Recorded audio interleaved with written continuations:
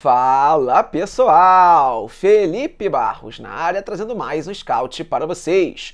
E hoje é dia de analisar jovem volante que está chegando para reforçar o Fluminense. Estamos falando de Nonato, 23 anos de idade, que estava no Internacional e chega para ser mais um reforço tricolor na sequência da temporada 2021, que vamos ver no vídeo de hoje. Números do jogador nessa temporada, um pouco do seu histórico na carreira mapas de movimentação e, claro, vou dar a minha opinião sobre mais esse reforço do Flusão, mas não sem antes te lembrar que é muito importante, pessoal, se inscrever na FBTV, deixar o likezinho no vídeo, ativar o sininho para receber as notificações e compartilhar o nosso conteúdo com os amigos em redes sociais e grupos no WhatsApp. Isso ajuda demais o meu trabalho a continuar se desenvolvendo. Quem estiver assistindo esse vídeo em outras redes sociais que não sejam o YouTube, depois lembra de voltar lá no canal e dar aquele like e deixar a sua inscrição. Beleza? Posso contar? Com a moral da torcida do Fusão. Aí sim, show de bola. Mas antes de começarmos, preciso falar com você sobre a Bet Nacional, casa de apostas da FBTV. Galera, na Bet Nacional, além de você encontrar as melhores cotações do mercado, saques e depósitos são instantâneos, tudo via Pix, sem lenga-lenga, sem enrolação. E o melhor de tudo, pessoal, com o link que está aqui na descrição desse vídeo com o nosso cupom, que também está na descrição, está passando na tela, você dobra o seu primeiro depósito. Vale muito a pena, é só se cadastrar, fazer o depósito e solicitar o bônus lá no chat da Bet Nacional. Beleza? Agora sim, todos os recadinhos dados, podemos começar com os números do jogador na tela. Vamos nessa, pessoal, números de Nonato na temporada 2021. Lembrando, mais uma vez, que o atleta tem 23 anos de idade, 1,74m e estava jogando todos os últimos anos da sua carreira pelo Internacional. Vamos lá. 19 jogos para o Nonato nessa temporada, oito deles como titular, um golzinho marcado, nenhuma assistência, nove passes para finalização, oito arremates com 37% de acerto no gol recuperou a posse de bola 48 vezes, uma média de 5,3 a cada 90 minutos. Bom ou ruim, Felipe? Esse é o fundamento que muita gente me pergunta para um volante. Né? Já já vai ter um quadro para a gente analisar especificamente esse fundamento. Desperdiçou a posse de bola 67 vezes, uma média relativamente alta de 7,4 a cada 90 minutos, mas já já vamos entender um pouquinho também desse número elevado. Ganhou 54%, das disputas de bola por cima, que ele foi bem, um número bem alto para um volante, cometeu 12 faltas e não tomou nenhum cartãozinho, nem amarelo, nem vermelho, nesse início de temporada para o atleta em 2021, ok? Bem, pessoal, vendo esse quadrinho, a gente percebe que o Nonato não teve assim um grande ano de 2021, não vem tendo, melhor dizendo, um grande ano de 2021. Não teve muitas partidas, desde que o Miguel Ramírez deixou o Colorado, ele perdeu completamente o espaço está mais de 40 dias sem entrar dentro de campo, definitivamente não chega em grande fase ao Fluminense, beleza? A nível de posicionamento, muita gente sempre quer saber, pô, Felipe, Nonato vai jogar na vaga do Iago Felipe, do Martinelli, quando tiver em campo pode jogar ao lado dos dois outros volantes? A resposta para vocês vem na tela, agora com mapas de movimentação, uma arte um pouco diferente do que normalmente a gente vê aqui, comparando, pessoal, o mapa de movimentação, o mapa de calor, como é popularmente conhecido do Nonato, em 2020 e na temporada 2021. A gente percebe que tem uma certa diferença, né, pessoal? Em 2020, ele jogou de uma forma mais parecida como atuou durante toda a sua carreira. Sendo aquele jogador, aquele meio-campista, que pode ser um. Até pode ser um primeiro volante, mas joga mais como um segundo volante, terceiro homem de meio campo, fazendo aquela transição área a área, jogando na intermediária defensiva. Aparece no ataque também para ajudar na construção, faz a marcação mais avançado, se precisar. Já em 2021, principalmente porque ele trabalhou boa parte da temporada com o Miguel Ramírez, ele teve um posicionamento um pouco diferente. Ele foi usado quase como meia com o treinador espanhol. Jogava às vezes como terceiro homem de meio campo, às vezes jogando como meia, mais voltado para o jogo criativo. A gente percebe como a, o terço final, a zona ofensiva, está mais ocupada em 2021 do que em 2020. Isso explica um pouquinho o baixo número nas recuperações na posse de bola e um alto número no desperdício da posse de bola. Não dá para dizer que em 2021 ele jogou como um autêntico volante. Passou bem longe, por exemplo, de São Cão de Guarda, aquele volante brucutu voltado para o jogo de marcação. Por um lado é bom, que a gente percebe que é um jogador que pode exercer mais funções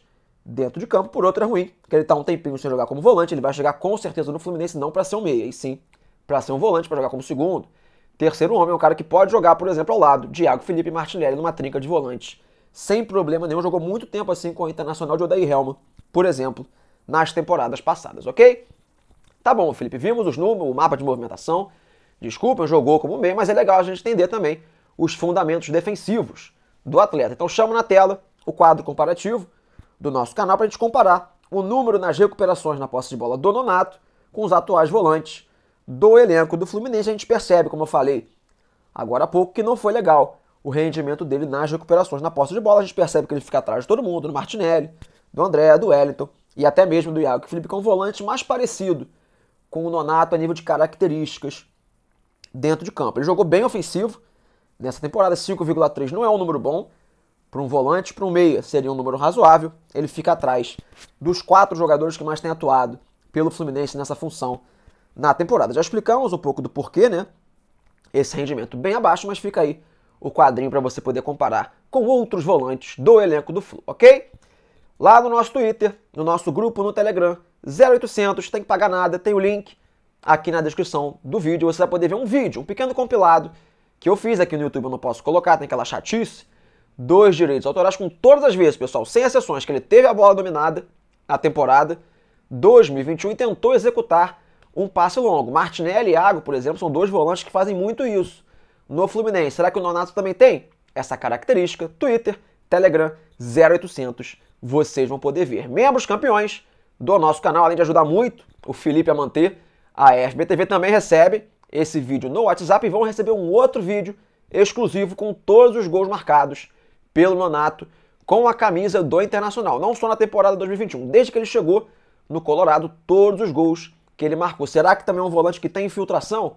Dentro da área aparece como elemento surpresa, faz gols, finalizando de média distância, de cabeça, como foram os gols do Nonato com a camisa do Internacional. Membros campeões, só vocês vão receber lá no nosso WhatsApp, ok? Beleza, Felipe, 2021, matamos aqui, vimos tudo que tinha para ver, mudança no posicionamento, comparação no jogo defensivo, mas nas temporadas anteriores ele teve mais espaço com a camisa do Internacional, teve mais minutos dentro de campo, teve um rendimento defensivo jogando, aí sim, como volante melhor do que em 2021. Chama a resposta para vocês, como sempre aqui na FBTV, tudo aparece na tela para a gente matar essas questões. Nos últimos quatro anos de Nonato, como atleta profissional, são todos os seus anos desde que deixou as categorias de base, beleza? Temporada de 2018, atuando pelo São Caetano. Aí no finalzinho da temporada ele se transfere para o Internacional, joga mais na base do Inter. Em 2018, profissionalmente mesmo, foi atuando pelo, seu, pelo São Caetano no seu primeiro ano como profissional. Oito partidas, apenas seis como titular, nenhum gol marcado e uma média ruim nas recuperações na posse de bola, 5,5 a cada 90 minutos, atuando mais como um meia também nesse iníciozinho de carreira lá no futebol paulista. Aí sim começa a sua trajetória com a camisa do Internacional. Temporada de 2019, 46 jogos, tudo pelo Inter, tá pessoal? 31 deles como titular, 3 gols marcados e uma média um pouco melhor nas recuperações de bola, 6,7 a cada 90 minutos. Não chega a ser um número excepcional para um volante, mas, por exemplo, é o mesmo número que o Iago Felipe tem hoje na temporada 2021 com a camisa do Fluminense. Lembrando, esqueci de falar isso um pouco mais cedo. Estou gravando esse vídeo antes dos confrontos da Copa do Brasil entre Fluminense e Criciúma. Então, se você assistiu esse vídeo um pouco depois da partida de ida da Copa do Brasil, os números podem ter mudado um pouquinho, mas nada que vai fazer muita diferença na nossa análise, ok? Seguindo, temporada 2020, pelo Inter ele começa a perder um pouco mais de espaço, atua bem menos do que em 2019, 26 jogos, 16 como titular. Mais uma vez, três gols marcados. Atenção, um volante que está sempre marcando seus golzinhos e melhora, melhora um pouco no fundamento das recuperações na posse de bola. 6,9 a cada 90 minutos. Aí vem 2021, já vimos os números da temporada que ele perde mais espaço. No Internacional, não precisamos ler novamente para a galera, ok? Voltando para mim, reta final do nosso vídeo. O que eu acho da contratação de Nonato para o Fluminense. Vamos lá, pontuar ponto por ponto, item por item. A nível de característica, o que eu acho do Nonato? Eu acho que é um reforço que faz sentido para o Fluminense. O Nonato é um jogador jovem, se enquadra na filosofia, pelo menos que deveria ser a filosofia correta. Para o Fluminense, é um volante que tem transição, consegue chegar no campo de ataque, ele tem passe longo, tem infiltração dentro da área, coisa que eu acho que nenhum dos volantes do elenco do Fluminense tem. Então, a nível de característica de jogo, eu acho que é um cara que se enquadra hoje no elenco do Fluminense. Seria o cara que eu escolheria para contratar, para reforçar o Fluminense nesse momento? Talvez não. Assim, eu acho que o Fluminense precisa de mais um volante para esse elenco, mas para trazer um jogador jovem, que está em baixa, que vai chegar com status de aposta, o Fluminense já tem alguns dentro do seu grupo, considerando o pessoal da base, que poderia entrar nessa classificação, como por exemplo Alexander, tinha o próprio, Metinho, o Wallace, tinham pelo menos aí, três jogadores na base que poderiam chegar tão jovens quanto o Nanato e teriam uma chance de mostrar o seu futebol. Tem o André já no elenco, tem o Martinelli, tem o Iago Felipe. Então eu acho que o Nonato ele chega num status que talvez a base do Fluminense pudesse entregar uma condição de aposta pelo menos parecida com a do Nonato. Se a gente desconsiderar o que tem na base do Fluminense, tira os meninos de Xerém. Com o que tem no profissional, aí sim eu já acho que o Nonato chega e pode ter sim um bom espaço no elenco. Vejo hoje ele bem à frente do Wellington, por exemplo, a nível de qualidade técnica, de potencial para entregar do Hudson, que, tá, que vai voltar de lesão, nem se fala. Seria, na minha opinião, um reserva mais pro Iago Felipe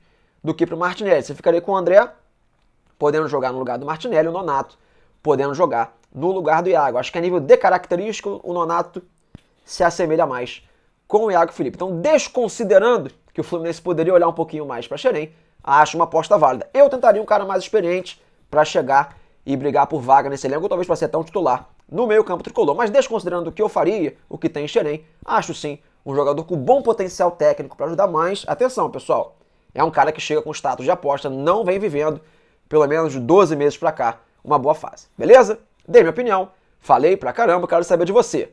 Torcedor tricolor, se você gostou dessa contratação, se você lembra do futebol do Nonato, se você faria essa contratação, se está conhecendo hoje o meu trabalho, se você vai deixar o like, se inscrever e compartilhar com todo mundo. Quem fizer isso, comenta aí que eu deixo meu likezão e posto o escudinho do Flusão, que é exclusivo para membros do canal. Beleza? Fechei a tampa do nosso Scout. Agora, com calma, você pode abrir a descrição do vídeo, conhecer as nossas redes sociais, planos de membros da FBTV e aproveitar para dobrar o seu primeiro depósito na Bet Nacional. Tá tudo na descrição do vídeo. Beleza? Um grande abraço a todos. Espero muito que vocês tenham gostado. Não esqueça de ativar o sininho que vem mais Scout por aí. Valeu!